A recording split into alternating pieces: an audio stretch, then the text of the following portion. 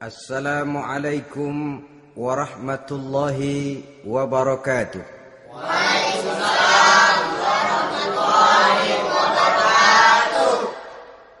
بسم الله والحمد لله والصلاة والسلام على سيدنا رسول الله وعلى آله وصحبه وموالاه. لا حول ولا قوة إلا بالله أما بعد. Saudara-saudara kaum muslimin yang berbahagia. Di dalam kehidupan ini kita senantiasa mengambil iktibar contoh dan teladan dari orang-orang sebelum kita. Itu sebabnya kepada baginda Nabi kita Muhammad sallallahu alaihi wasallam Allah Subhanahu wa taala menjelaskan cerita para nabi sebelum beliau. Dalam ayat summa naqussu 'alaika min amba'ir rusuli ma nusabbitu bihi fuadak. Demikianlah kami ceritakan kepadamu wahai Muhammad. Sebagian dari kisah para rasul-rasul sebelum kamu yang dengan itu akan memperkuat hatimu meneguhkan keyakinanmu dan memantapkan pendirianmu. Inilah manfaatnya belajar dari sejarah.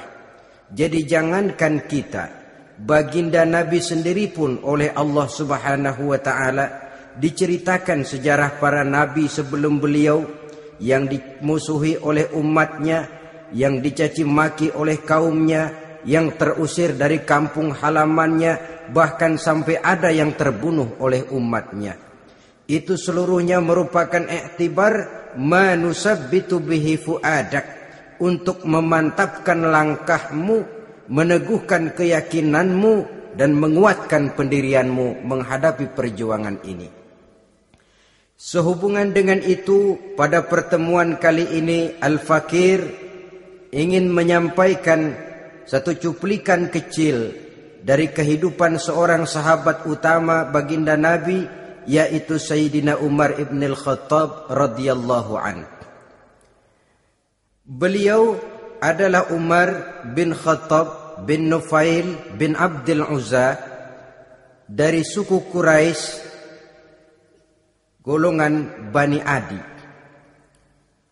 Perawakannya tinggi, kekar dan gagah melambangkan sifatnya yang pemberani, tegas dan tidak pernah kenal takut kepada siapa pun.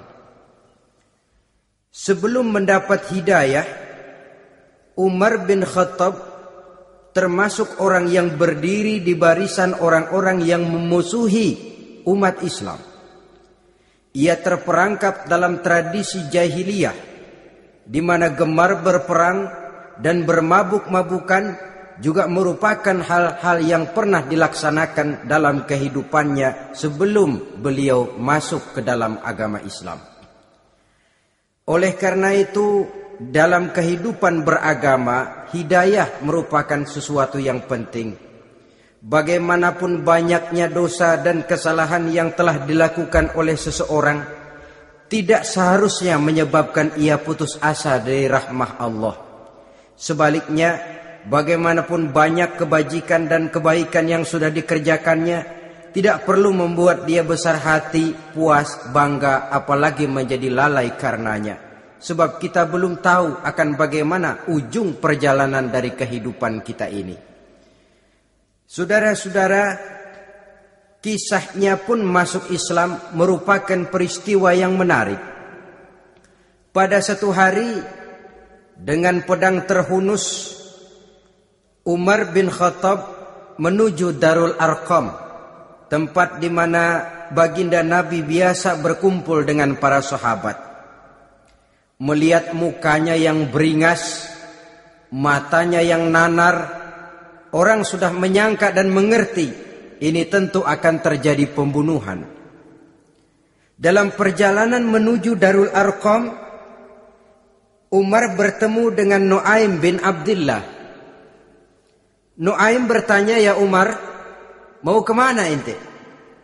Mau membunuh itu, si murtad itu katanya.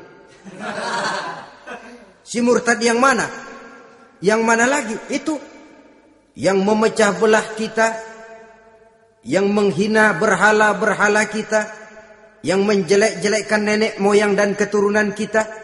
Siapa lagi kalau bukan Muhammad?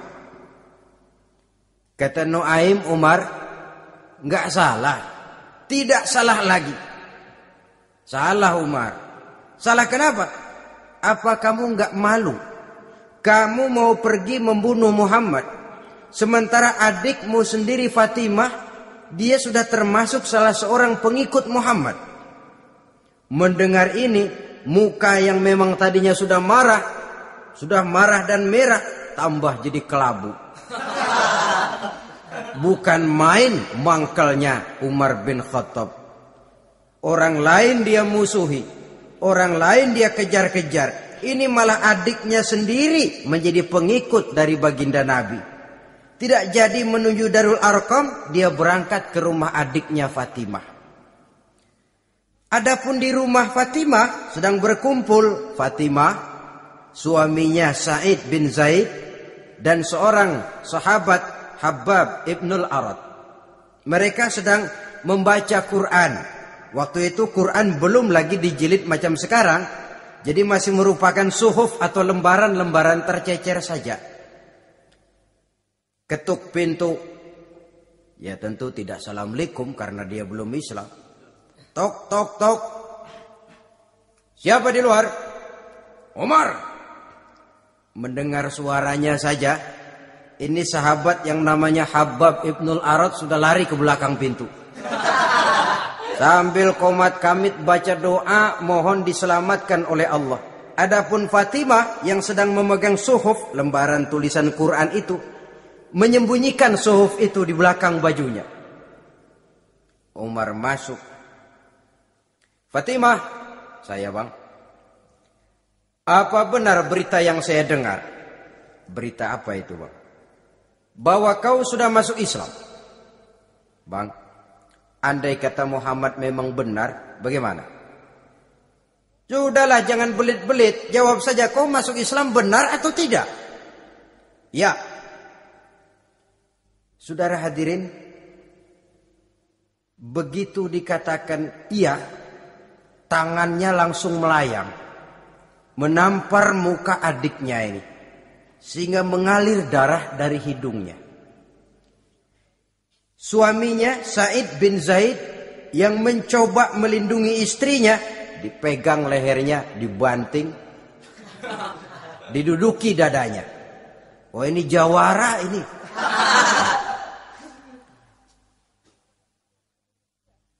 Namun pada saat sedemikian suara kebenaran terpantul dari mulut Fatimah, adik dari Umar bin Khattab ini. Umar, Apakah engkau memukul orang yang bersaksi bahwa tidak ada Tuhan melainkan Allah dan Muhammad Rasulullah? Apakah engkau menganiaya seseorang yang terpanggil untuk mengikuti kebenaran? Manusia macam apa engkau Umar? Saudara, memang dia orang keras. Tapi hatinya mudah menerima kebenaran. Sehingga mendengar kalimat adiknya ini tercenung dia sejenak. Melongok. Bengong kata anak sekarang. Ini kalau tidak karena keyakinan yang mantap. Tidak mungkin orang ini anak adik saya ini bicara macam begini. Umar. Mengapa engkau memukul orang yang bersaksi bahwa tidak ada Tuhan melainkan Allah dan Muhammad Rasulullah? Mengapa engkau pukul orang yang mengikuti kebenaran menerima hidayah dari Allah? begitu yakin dan mantapnya walaupun di tengah satu hal yang sangat menakutkan. Siapa yang tidak takut orang Quraisy berhadapan dengan Umar bin Khattab yang dikenal sebagai singa padang pasir pada waktu itu. Malahan dia termasuk salah seorang jagoan di tradisi masyarakat jahiliyah itu ada satu pasar yang namanya pasar Ukaz. Tiap tahun di pasar itu diadakan pesta. Pertama pertandingan syair. Jadi penyair waktu itu jadi kebanggaan. Syair-syair yang menang itu digantung di dinding Ka'bah. Jadi setiap suku akan bangga kalau mempunyai ahli syair yang hebat. Nah, lalu diadakan juga lah perlombaan balap kuda, memanah, termasuk gulat. Lah Umar ini tiap kali pertarungan mesti menang. Belum pernah ada yang berhasil mengalahkan dia. Jawara. Saudara-saudara mendengar adiknya begitu mantap hatinya. Apalagi ketika adiknya berkata begitu suhuf lembaran yang disembunyikan di belakang bajunya tersembul. Apa yang kau sembunyikan di balik bajumu itu? Suhuf. Apa suhuf itu? Lembaran Al-Quran. Coba saya lihat. Enggak boleh. Kenapa? Kamu kotor. Orang kotor tidak boleh megang Quran. Saya mau lihat. Enggak boleh. Kalau kamu mau lihat, mandi dulu. Diturutinya permintaan adiknya itu. Lalu diambilnya suhuf tadi. Dia baca. Kebetulan ayat yang dibacanya ayat pertama dari surah Toha yang berlanjut dengan ayat 14 pada surah yang sama. Dia baca Bismillahirrahmanirrahim.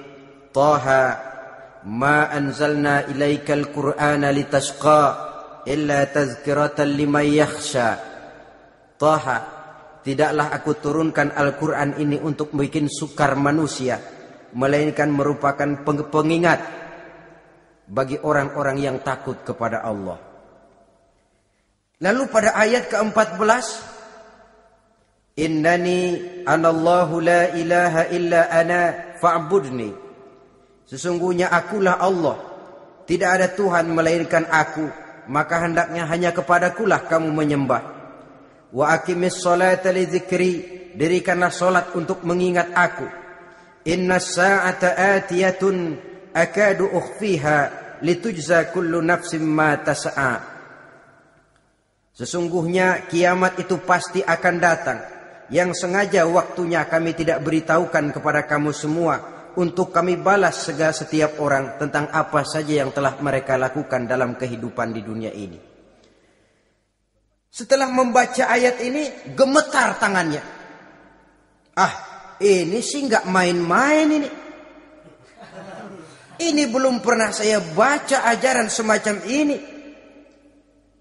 Tidak patut orang yang mempunyai kitab suci semacam ini dimusuhi. Ini sesuatu yang benar, tergetar jiwanya. Hei, Fatimah. Muhammad di mana Muhammad? Saya tidak akan memberitahu kepada kamu.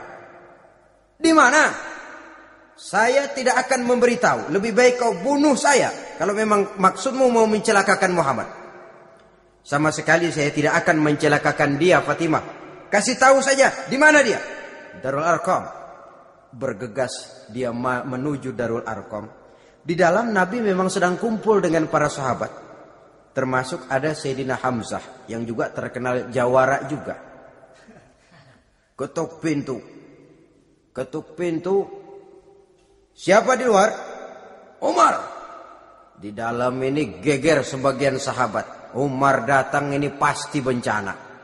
Umar datang, wah kalau istilah kampung kerok dan urusan.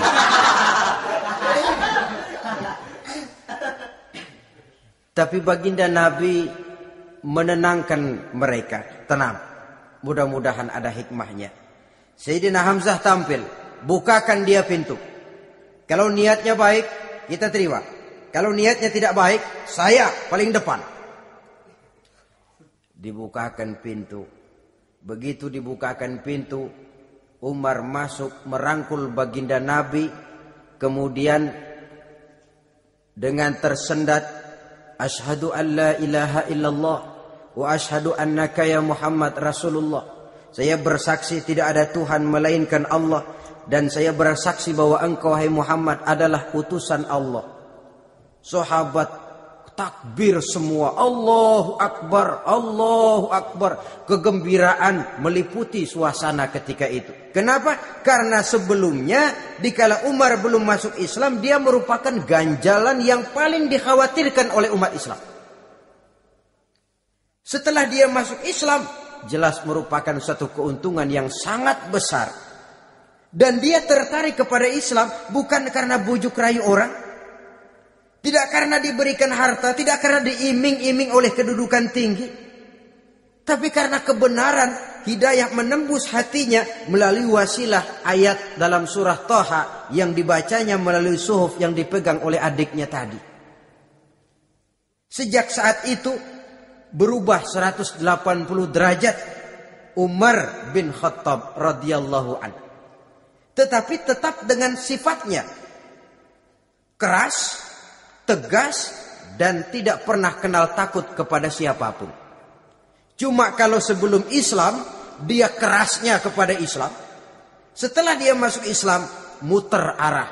Kepada siapa pun yang memusuhi Islam, dia bersikap keras, tegas, dan tidak pernah kenal takut. Bahkan setelah beliau masuk Islam, satu hari ketika di Darul Arkom kumpul-kumpul, waktu itu Nabi belum berdakwah secara terbuka karena pengikut masih sedikit. Sayyidina Umar usul Ya Rasul, ada apa Umar? Alasna alal haq fi mamatina wa mahyana. Ya Rasul, bukankah kita ini berdiri di atas sesuatu yang benar? Bukankah mati kita, hidup kita untuk melaksanakan sesuatu yang benar? Bala ya Umar, betul Umar.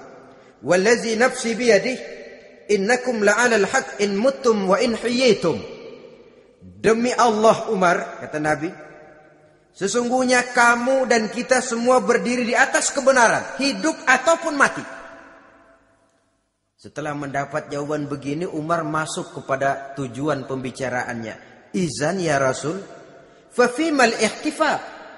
Kalau memang begitu ya Rasul, kalau memang kita yakin kita berdiri di atas kebenaran, kita hidup karena kebenaran, kita mati pun memperjuangkan kebenaran, Fafimal ikhtifa. Kenapa mesti ngumpet-ngumpet? Kenapa harus sembunyi-sembunyi? Wallazi ba'asaka bil haq. Demi Allah ya Rasul, la takhrujanna wa la nakhrujanna ma'ak. Tuhan harus keluar menyampaikan Islam ini secara terbuka dan kami akan mendampingi Tuhan dengan segenap jiwa dan raga. Sekali masuk Islam gak tanggung-tanggung. Yang kayak begini ini yang kita perlukan sekarang ini. Begitu masuk Islam, nggak tanggung seluruhnya, jiwa dan raganya masuk Islam. Beliau yang pertama kali mengajukan ide, kenapa harus dakwah sembunyi ya Rasul? Wong kita berdiri di atas kebenaran, memperjuangkan sesuatu yang hak. Kalau kita mati, kita pun mati membela kebenaran. Kenapa mesti fafimal ikhtifa? Kenapa harus sembunyi-sembunyi? Mulai sekarang mari keluar ya Rasul. Saya akan dampingi Tuhan. Nyawa taruhannya. Saudara hadirin yang saya hormati.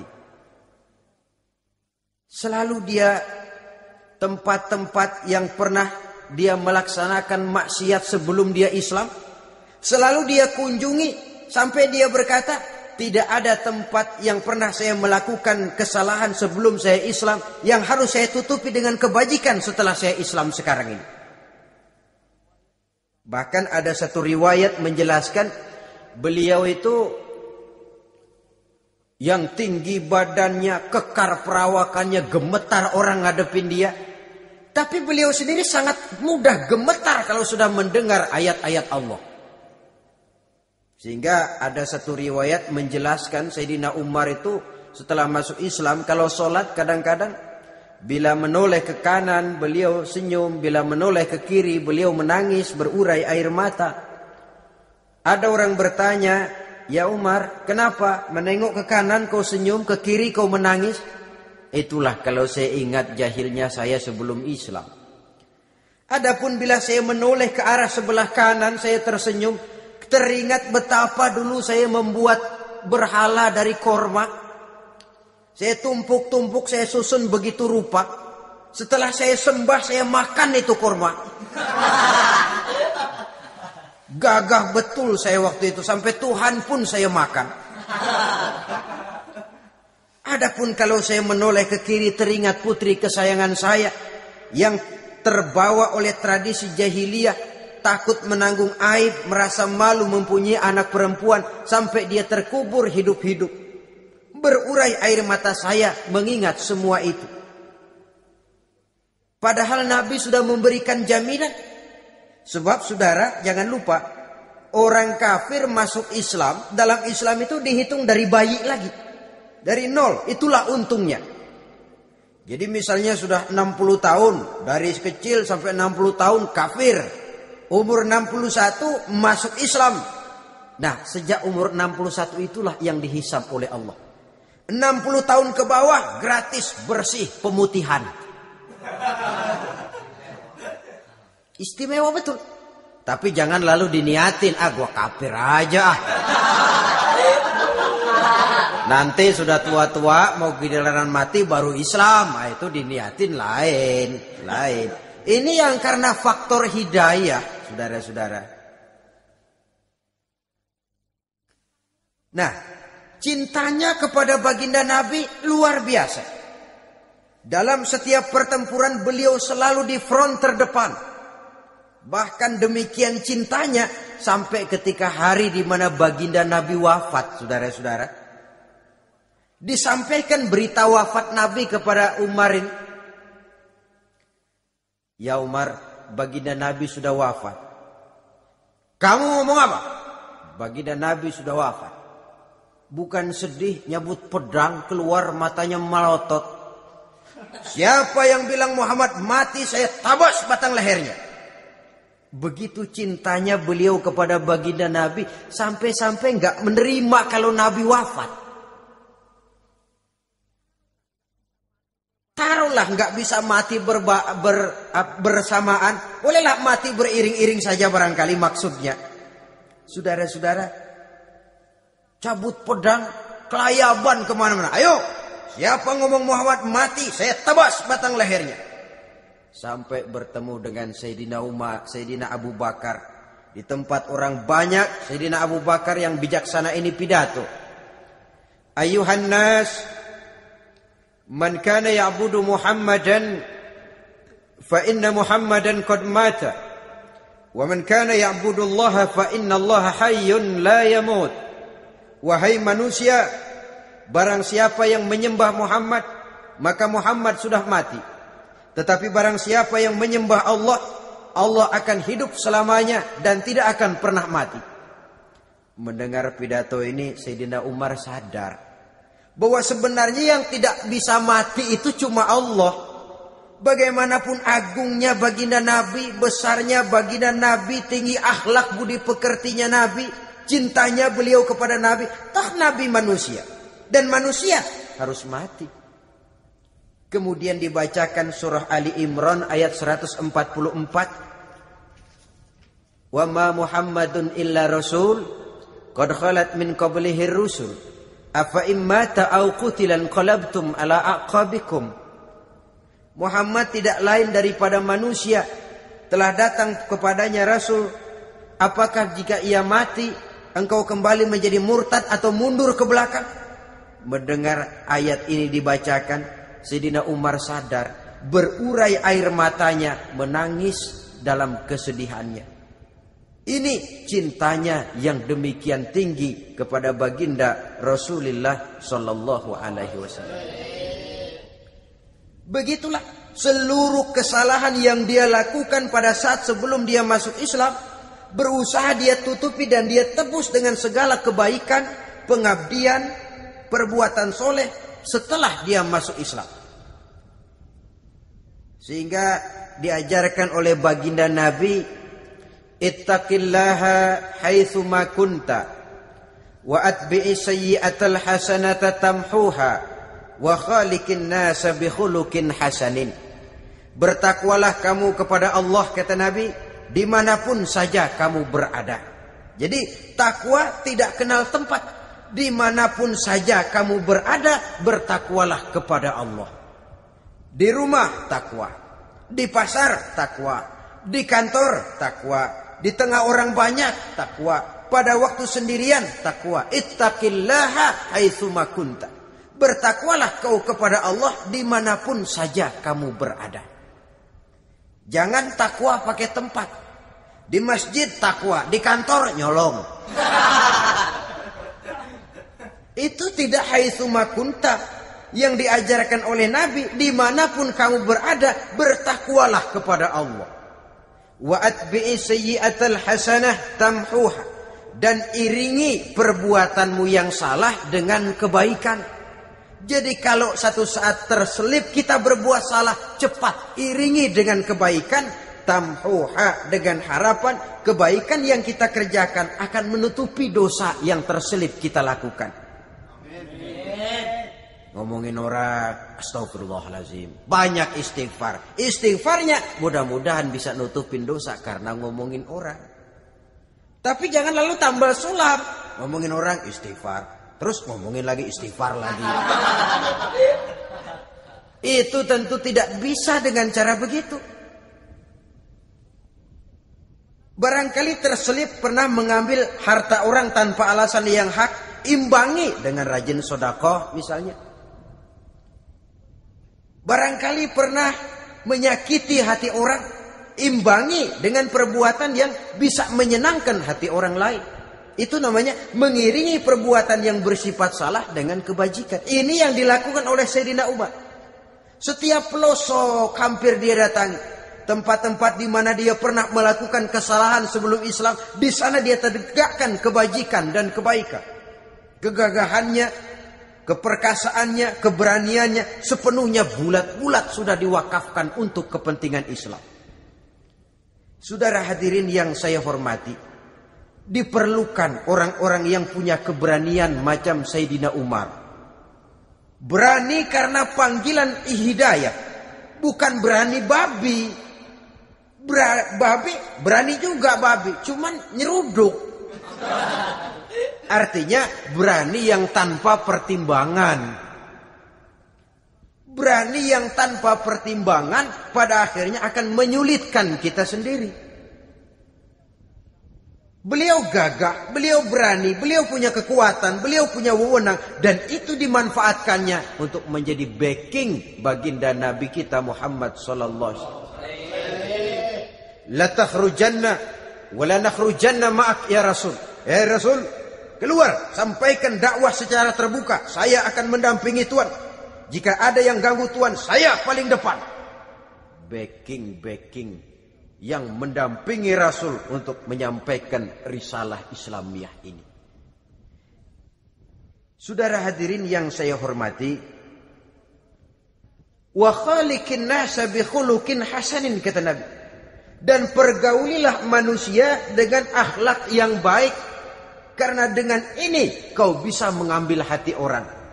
Dalam hadis lain katakan innakum la tas'una an-nasa bi amwalikum walakin yas'uhum minkum bastul wajhi wa husnul khuluq. Kamu tidak akan bisa menyenangkan orang banyak dengan hartamu, tapi kamu bisa ambil hati mereka dengan budi pekerti yang luhur dan muka yang manis. Dengan harta belum tentu kita bisa menyenangkan semua orang. Tapi budi pekerti yang luhur, muka yang manis, itu yang akan bisa membuat kau menyenangkan orang banyak.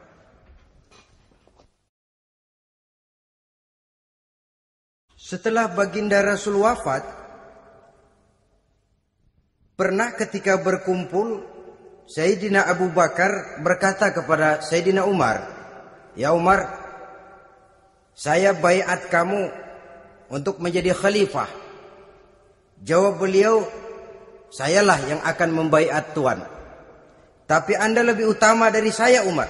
Keutamaan saya akan saya berikan kepada Tuhan untuk mendukung kekhalifahan Tuhan. Di sini kelihatan wataknya yang tidak ambisius. Gagah, berani, perkasa, tapi tahu diri. Enggak nyelonong. Tidak menggunakan kekuasaannya kegagahannya untuk maksud yang sewenang-wenang. Oleh karena itu setelah Sayyidina Abu Bakar wafat, beliau dilantik menjadi khalifah, keluarlah pidatonya yang terkenal. Ayuhan nas, inni qad wullitu alaikum walastu bi khairikum. Hai manusia, aku telah dipilih menjadi pemimpin kamu. Padahal aku bukanlah orang yang terbaik di antara kamu. Kalau tidaklah karena aku melihat keutamaan, keteguhan yang dapat melindungi kalian, berat rasanya aku memikul amanah ini. Sebab apa?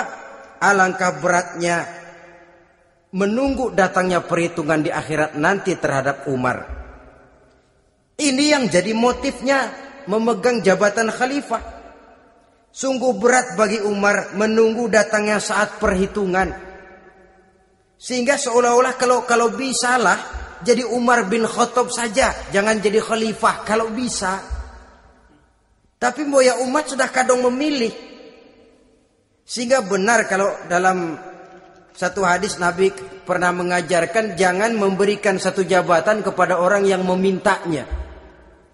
Sebab orang kalau sudah minta jabatan, apalagi pakai jilat-jilat, pakai upeti-upeti, tentu ada tendensinya.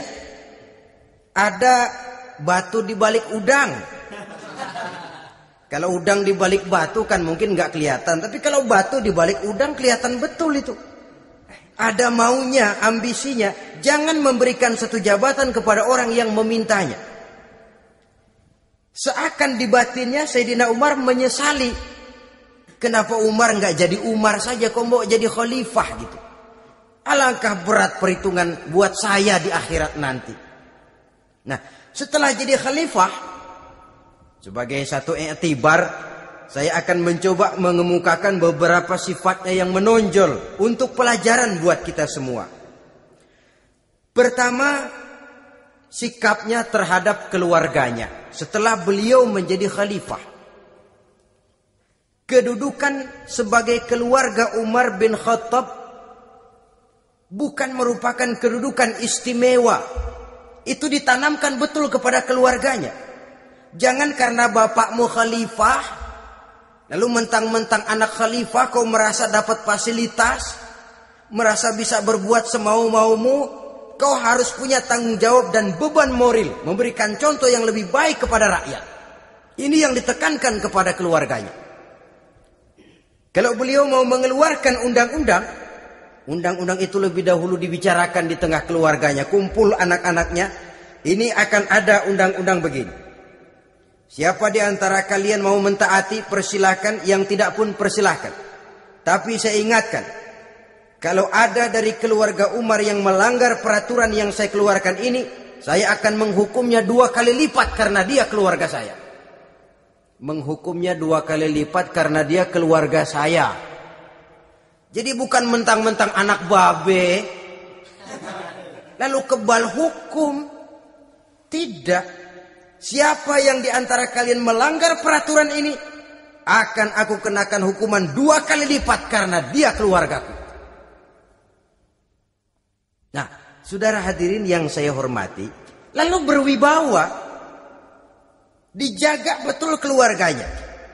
Satu hari beliau datang ke rumah putranya Abdullah bin Umar.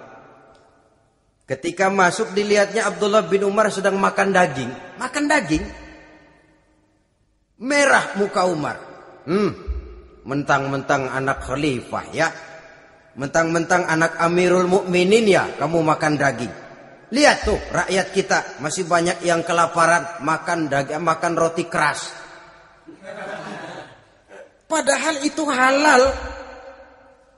Sesuatu yang diperoleh dengan usahanya sendiri. Tetapi begitu hati-hatinya Umar untuk menjaga pandangan orang keluarga khalifah merupakan beban moral sebab akan dijadikan contoh oleh rakyatnya. Mentang-mentang anak khalifah ya makan daging. Lihat tuh rakyat, roti keras digarotin. Lain saat beliau pergi ke satu pasar. Di situ dilihat ada sapi gemuk-gemuk. Tempat lain sapinya kurus-kurus. Tanya, ini yang gemuk-gemuk sapi siapa? Sapi Abdullah bin Umar. Sapi anaknya. Panggil Abdullah bin Umar, suruh sini. Datang anaknya Abdullah bin Umar, bagaimana ceritanya sampai ini? Begini, Bapak. Dahulu itu dengan uang saya, saya beli sapi, kurus-kurus. Lalu saya rawat. Saya berikan upah orang untuk merawat sapi-sapi itu Sampai sekarang dia menjadi gemuk. Akan saya jual dan keuntungannya tentu sesuatu yang halal. Subhanallah, kata Umar. Kau ini anak Amirul Mukminin. Jual sapimu. Ambil modalnya, untungnya, masukkan baitul mal untuk urus kepentingan orang Islam. Dia nggak mau anaknya terlibat bisnis, dompleng kekuasaan ayahnya. Karena mentang-mentang anak khalifah lalu segala macam bisnis lancar. Orang takut karena apa? Anak babe. Ada lagi. Pada waktu pembagian harta ghanimah, putri beliau yang namanya Hafsah, ini adalah istri baginda Nabi, meminta bagian kaum kerabat. Ayah ini kerabat khalifah. Kitalah dulu. Kerabat kalau kau kerabatku maka jatahmu nanti dari ayahmu. Harta ini masih lebih banyak dibutuhkan oleh orang-orang Islam. Nanti belakangan kalau ada sisanya. Belakangan kalau ada sisanya. La haula wala quwata illa billah.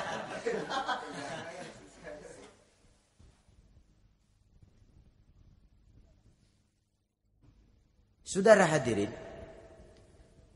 itu terhadap keluarganya.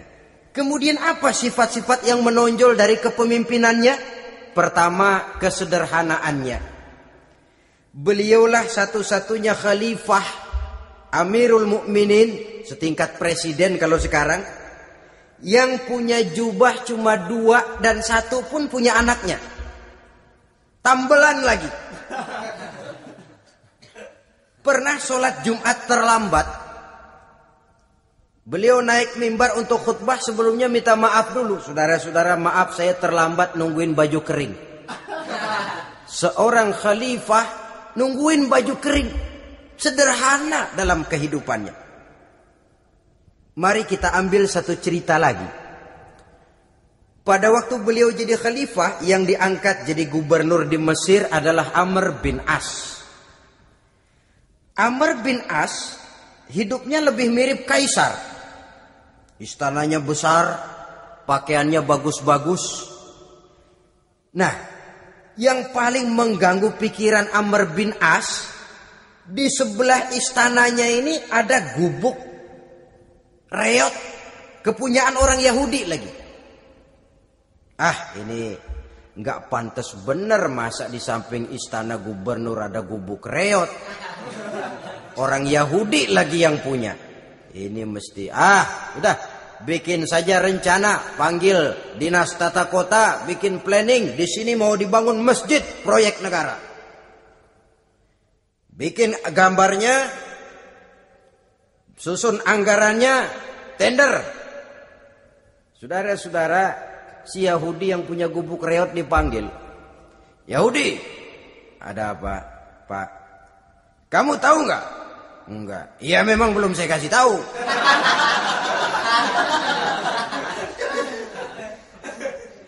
Ada apa, Pak? Itu kamu punya gubuk Tahu, kena proyek. Proyek apa Pak? Kami mau bangun masjid besar di situ. Dan tidak sesuai ada gubuk reot di samping tempat gubernur. Jadi maksud Bapak, gubukmu tanah-tanahnya mau saya bebaskan. Saya beli. Enggak mau Pak, saya enggak mau jual. Saya bayar dua kali lipat. Enggak mau. Tiga kali lipat. Enam kali lipat juga enggak mau Pak. Oh saya dari muda peres keringat banting tulang cuma segitu-gitunya pak tempat saya tinggal. Gubuk reot sama tanahnya sedikit. Makmur saya pak cuma rumah sama sumur.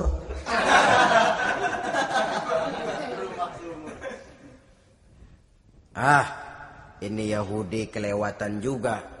Akhirnya turun perintah. Sudah kalau dia nggak mau dibebaskan.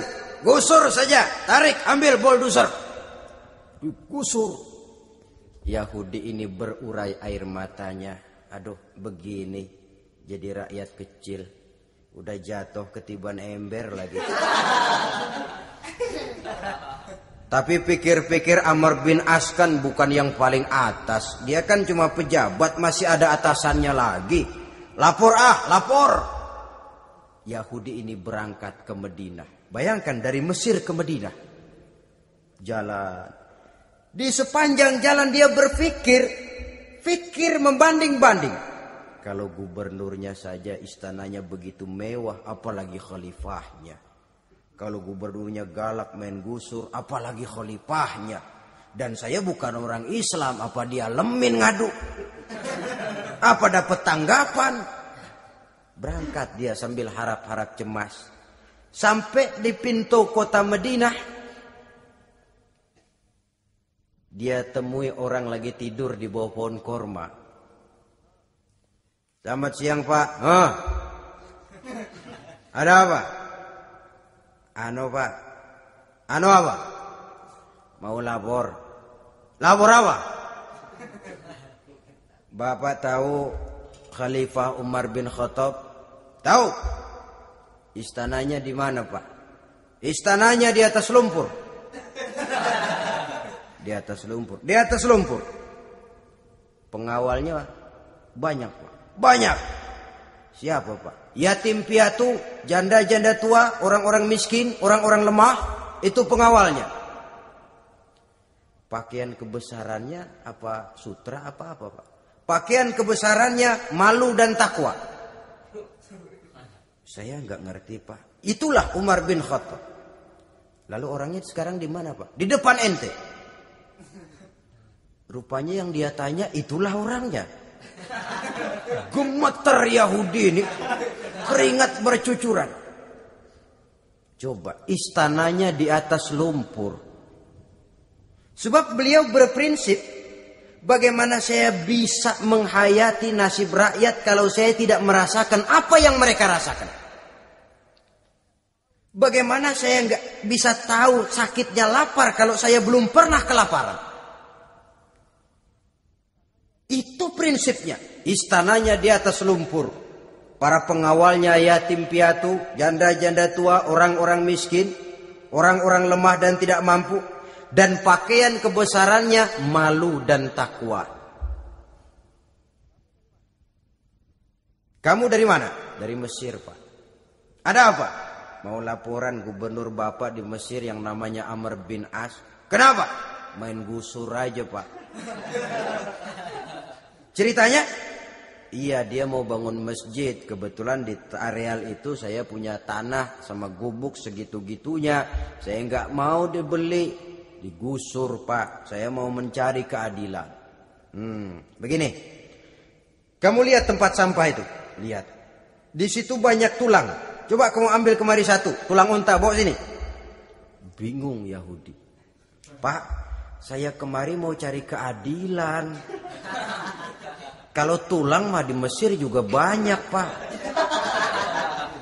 sudahlah pokoknya kau ambil saja tulang itu coker-coker dapat dikasih.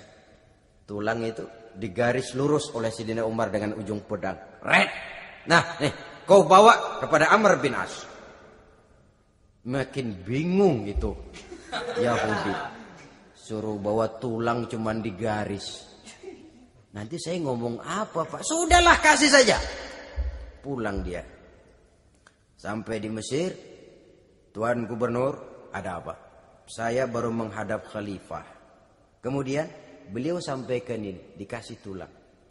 Amr bin As ngelihat tulang ada goresan lurus dengan ujung pedang gemetar. Badannya keluar keringat dingin. Panggil kepala proyek. Eh, proyek batal. Masjid nggak jadi didiriin. Itu gubuk Yahudi diriin lagi, diriin lagi.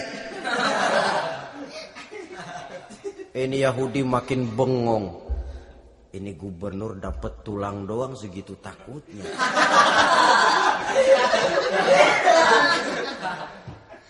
Ada apa sebenarnya Tuan Gubernur? Kamu tahu? Ini nasihat pahit buat saya dari Amirul Mukminin Umar bin Khattab. Seolah-olah beliau bilang, "Hai Amr bin As, jangan mentang-mentang sedang berkuasa ya. Pada satu saat kau akan jadi tulang-tulang kayak begini." Maka mumpung kamu masih hidup dan berkuasa, berlaku lurus dan adillah kamu seperti lurusnya garis di atas tulang ini. Red. Lurus, adil, jangan bengkok. Sebab kalau kamu bengkok, nanti aku yang luruskan pakai pedangku. Siapa yang nggak ngeper digituin? Sampai akhirnya apa? Kata si Yahudi, Pak, kalau begitu Islam adil ya. Adil. Kalau gitu biarin dah Pak, tanah saya. Mau kamu jual? Bukan saya jual Pak, saya kasih aja dah. Campur gubuk-gubuknya, ambil aja dah.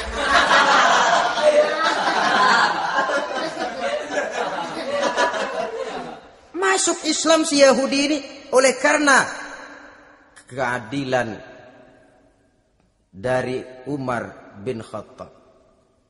Begitulah kesederhanaan hidupnya. Sampai saudara, yang ironi betul, pernah Utsman bin Affan, Ali bin Abi Thalib, Tolhah dan Zubair kumpul mendengar berita bahwa Sayyidina Umar ini punya hutang. Bayangkan, seorang khalifah untuk melangsungkan hidupnya sampai punya hutang. Padahal Baitul Mal di bawah kekuasaannya. Berunding Utsman, Ali, Tolhah, Zubair. Kalau kita langsung ngomong sama Umar nggak enak dong dia nggak bakalan terima lewat putrinya aja Hafsah deh. Baik. Hafsah ngomong sama Umar, Abah, kenapa? Bagaimana kalau honor Abah ditambah, ditingkatkan supaya hutang bisa ketutup? Hafsah, saya Abah. Siapa yang nyuruh kamu ngomong begitu? Enggak ada. Ada. Saya tahu ada ini. Kalau nggak ada kamu nggak mungkin ngomong begitu. Tapi orangnya kalau saya tuntut mereka mungkin nggak mau. Sekarang saya mau tanya Hafsah. Kau kan istri Rasul. Betul. Nah saya mau tanya. Suamimu makanannya, makanannya apa? Daging? Bukan. Roti. Tempat tidurnya kasur empuk? Bukan. Kain kasar yang kalau musim panas kami bentangkan. Kalau musim dingin separuh buat tidur, separuh buat selimut. Pakaian yang dibelikan untukmu berapa banyaknya? Cuma dua. Nah, itu guru saya. Orang yang paling saya cintai. Dan itu yang saya ikuti. Bahkan setelah beliau wafat. Sayyidina Umar ini. Hutangnya ditanggungkan kepada anaknya Abdullah bin Umar. Dan itu pun dilunasi dengan menjual rumahnya. Sehingga rumahnya itu disebut Darul Kodok. Rumah bayar hutang. Begitu kesederhanaannya. Jadi nggak pakai aji mumpung, mumpung jadi khalifah lalu kayak ikan gurita tangan yang mana aja megang. Itu kan mental monyet. Monyet itu kan begitu. Tangan megang kiri kanan, mulut ngawal, kaki megang, temennya dikasih masih ngerampas juga. Monyet rakus betul itu. Itu kesederhanaannya. Kenapa kesederhanaan ini timbul? Karena sikap zuhudnya. Zuhud itu tarkud dunia li ajlil akhirah. Orang yang mengambil dunia hanya yang diperlukan dengan lebih mengutamakan kehidupan akhirat. Watak zuhudnya yang sangat menonjol. Dialah pahlawan yang paling berani di medan perang. Dialah imam yang paling khusyuk di masjid. Dan tidak jarang kalau sholat sendiri. Begitu membaca ayat yang menceritakan neraka. Nangis berurai air matanya. Saudara hadirin ma'asyiral muslimin rahimakumullah. Jadi kesederhanaan dan kezuhudan ini bukan lewat teori. Disampaikan oleh Umar bukan lewat penataran seluruh aparat, tidak. Lewat contoh konkret, inilah saya, contoh sederhana dan zuhud. Bagaimana saya akan bisa merasakan penderitaan rakyat kalau saya sendiri tidak pernah menderita? Bagaimana saya akan tahu sakitnya lapar kalau saya belum pernah kelaparan? Maka tanpa penataran, tanpa upgrading segala macam, berhasil karena prinsip keteladanan. Beliau jadi contoh utama dan sumber utamanya tentu tidak lain karena contoh dari baginda Nabi besar Muhammad sallallahu alaihi wasallam. Dua, sederhana, yang kedua zuhud. Yang ketiga, sifat yang menonjol dari kekhalifahannya adalah adil. Kalau sudah bicara soal hukum, dia tidak pernah kenal kompromi. Adalah seorang pemuka Nasrani masuk Islam namanya Jabalah bin Aiham. Ketika dia bikin haji, kain ihramnya keinjak orang orang Arab yang hitam. Badui. Jengkel, dia merasa bekas tokoh. Enak aja nih orang udah jelek nginjak lagi.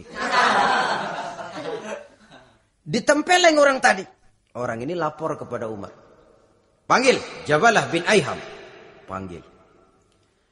Kau ditampar? Betul khalifah. Tampar dia. Tampar lagi. Dipukul orang itu. Di depan Sayyidina Umar. Jadi tidak karena kau ini bekas kepala suku, kau ini bekas orang terhormat, lalu ada kebijaksanaan yang tidak bijaksana. Kebijaksanaan yang akhirnya jadi tidak bijaksana. Dan itu memang sudah dimulai dengan memblokir keluarganya. Tidak satu keluarganya pun yang boleh mempunyai perasaan bahwa menjadi keluarga khalifah merupakan fasilitas dan keuntungan. Kau jangan makan di atas punggungku. Kau jangan menikmati fasilitas di atas keringatku. Dan tidak ada keinginan mewariskan jabatan khalifah kepada anak-anaknya. Pernah beliau musyawarah, saya bingung, kenapa khalifah? Gubernur Kufah ini sulit nyari orang. Diangkat yang lemah, rakyat ngeluh. Diangkat yang keras, rakyat juga ngeluh. Ada calon khalifah. Kalau ini mah nggak salah lagi nih buat gubernur Kufah. Siapa? Abdullah bin Umar, anak beliau sendiri melotot matanya. Jangan macam-macam kau. Cukup satu orang Umar memegang jabatan ini. Kalau berhasil, kami keluarga Umar sudah merasakannya. Kalau gagal, cukup kegagalan seorang Umar. Tidak berusaha mengorbitkan anaknya, oh, anak babe diangkat jadi ano, jadi ano. Tidak, malah diblokir. Cari yang lain. Tapi Abdullah bin Umar cukup syarat ya khalifah. Dia orang bertakwa dan soleh. Yang takwa dan soleh bukan cuma anak Umar. Anak orang lain juga banyak yang takwa dan soleh. Itu prinsipnya. Sehingga ketegasannya ini membuat orang jadi sungkan. Dan tidak seorang pun berani kirim-kirim upeti hadiah. Oh, pernah itu ada pejabat dari Azerbaijan kirim makanan. Kue, mending apa? Kue. Gitu dicicipi enak. Enak juga ya kue ini. Enak khalifah. Ini di sana apa makan rakyat biasa? Bukan, ini makanan orang-orang fit. Nah, dibungkus lagi itu kue. Dibungkus. Ontamu mana? Di luar. Ambil, bawa pulang, serahkan lagi kepada gubernur di sana, kasih tahu salam dari Umar bin Khattab. Kenyangkan dulu rakyat dengan makanan seperti ini. Kita belakangan. Jadi kalau rakyat lapar, saya orang pertama yang akan merasakan kelaparan. Tapi kalau rakyat makmur, biarlah saya menjadi orang terakhir yang kenyang. Kan bagus prinsip itu. Jikalau rakyat kelaparan, saya akan jadi orang pertama yang merasakan lapar. Tapi kalau rakyat makmur, biar saya jadi orang terakhir yang kenyang. Jangan dibalik. Pada saat rakyat kelaparan, dia kekenyangan. Dan selanjutnya, Sikap keadilannya ini saudara-saudara menyebabkan hukum lalu jadi berwibawa. Pernah beliau jalan-jalan di lorong kota Madinah di tempat yang namanya Harah bersama Aslam. Ada ibu-ibu anaknya nangis, lapar mah, lapar mah, sabar dikit lagi matang gitu. Emang tuh ibu lagi ngerebus, bunyi air ngegulak. Luguk luguk luguk. Umar lihati dari jauh. Belum juga matang belum juga matang nih anak dari nangis lapar sampai capek nangis sampai tidur. Anak tidur Umar samperin. Bu yang masak apa sih kok nggak bisa matang saya nggak masak apa-apa tuan itu pating kerubuk apa Ketika dibuka ya cuma air saja. Subhanallah ibu, ibu sudah ngebohongi anak ibu sendiri. Habis harus bagaimana tuan? Saya sudah nggak punya makanan untuk dimasak. Sementara perut nggak kenal kompromi. Jalan satu-satunya ya terpaksa anak saya saya bohongi. Saya bilang sebentar lagi matang sampai dia tidur sekarang ini. Memangnya Khalifah Umar gimana sih ngurusi rakyat? Subhanallah dia orang zalim. Dia yang memegang urusan kami tapi dia nggak tahu nasib saya. Anak kelaparan, keluarga terlantar. Oh, begitu. Iya. Zolim betul Umar bin Khattab itu. Kalau begitu ibu tunggu sebentar. Dia pulang bersama Aslam menuju Baitul Mal. dia ambil tepung satu karung, dipikul sendiri. Dipikul sendiri kata Aslam, ya Khalifah biar saya yang bawa. Jangan. Kenapa Khalifah? Apa kau kira kau sanggup mikul dosa saya di akhirat nanti? Biar saya yang mikul sendiri. Dia bawa ke tempat tuh ibu-ibu. Dia masakin sendiri. Nah bu sudah matang persilahkan masak. Makan. Alhamdulillah Tuhan. Mudah-mudahan Allah memberkahi Tuhan. Tuhan lebih baik dari Umar bin Khattab yang zolim itu. Memang sebenarnya Tuhan siapa kata tuh ibu? Saya, iya. Saya ya Umar bin Khattab yang ibu bilang zolim itu. Gemetar si ibu. Gemetar si ibu. Tapi memang peka dan menghargai kritik orang. Tidak membungkam setiap orang yang nadanya sumbang atau berbeda. Kadang beliau berkata, saya khawatir karena orang terlalu segan dengan saya lalu nggak ada yang berani negor kalau saya salah. Kan begitu biasanya. Karena sudah terlalu segan lalu semuanya orang mau diaminin saja. Asal dibilang nggak benar marah, jengkel. Lalu disingkirin, maunya diiyain, ingge kulonuwun. Oke bos. Beliau bilang saya khawatir kalau tidak ada orang yang mau menegur kesalahan saya jika saya terlanjur nanti. Eh tahu muncul orang. Demi Allah, saya akan menegur Tuhan dengan pedang saya ini cerah mukanya, senyum bibirnya alhamdulillah. Anak muda, saya memerlukan orang macam kau. Yang berani berkata ya terhadap yang benar dan tidak terhadap yang tidak benar, apa dan bagaimanapun resikonya. Di sini kelihatan sikap beliau menghadapi orang yang berbeda pendapat. Keadilan, keberanian dan ketegasan, cepat menerima kebenaran, merupakan serentetan dari sifat-sifat utama beliau sejak masuk Islam sampai menjadi khalifah yang kedua bahkan dengan jasa beliau Islam kemudian tersebar menembus dinding jazirah Arabia memasuki Bizantium dan Persia sehingga beliau juga dikenal sebagai periode Al-Futuhat Al-Islamiyah.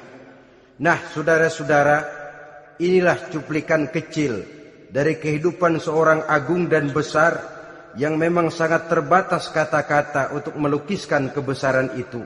Namun yang secuplik ini mudah-mudahan menjadi sumbangan moral dalam rangka kita memperbaiki diri menuju kehidupan yang lebih baik. Terima kasih banyak atas segala perhatian. Mohon maaf atas segala kekurangan. أوصيكم ونفسي بتقوى الله والسلام عليكم ورحمة الله وبركاته. وعليكم السلام.